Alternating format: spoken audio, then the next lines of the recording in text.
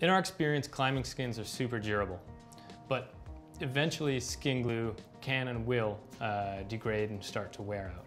Uh, and broadly, there's two reasons that skin glue uh, will tend to wear out. One is uh, that because it's it's always being pulled against itself and being pulled from a skin. It can start to come out of the body of the, uh, of the skin and that just means that you've got a climbing skin that's been used a lot for a longer time and the glue's just, the hold to the, the rest of the skin isn't as strong as maybe the hold to, say, another bit of glue or the hold to a ski. In that case, that may mean that the skin is getting, getting older and it may be time to re-glue the skin. We work in our process when applying the glue to make sure that we've optimized our process uh, so that we have the best possible glue hold uh, into our skin material.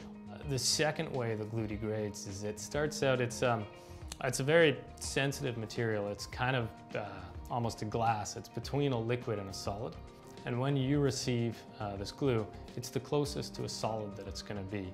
Over the life of the skin, there's lots of processes that will degrade the skin, and most of those will tend to make the skin glue softer. What that means is that you may find that the skin glue kind of stretches more um, and, and pulls more away from the backing. Without getting too technical about it, because then I'd bore myself. There's a lot of very, very long molecules that are together in this skin glue. And as they degrade or as they get heated, as they get hit by UV, they might absorb oxygen or those long molecules might break down into shorter molecules, which tend to make them more liquid-like and less solid-like. Some of those things that can make this happen are heat.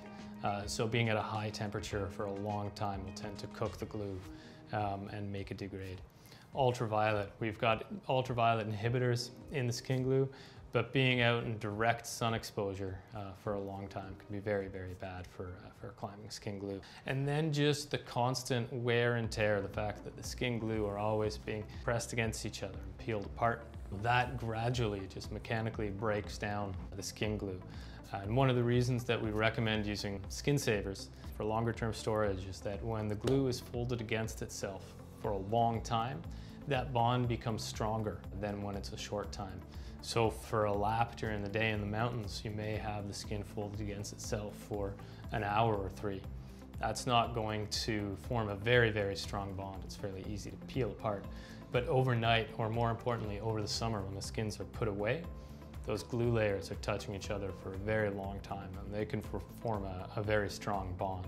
When you use skin savers, that stops the glue from touching itself and means that you're not getting that strong bond. So you're not getting that event that the glue is peeling apart from itself that might break the glue down.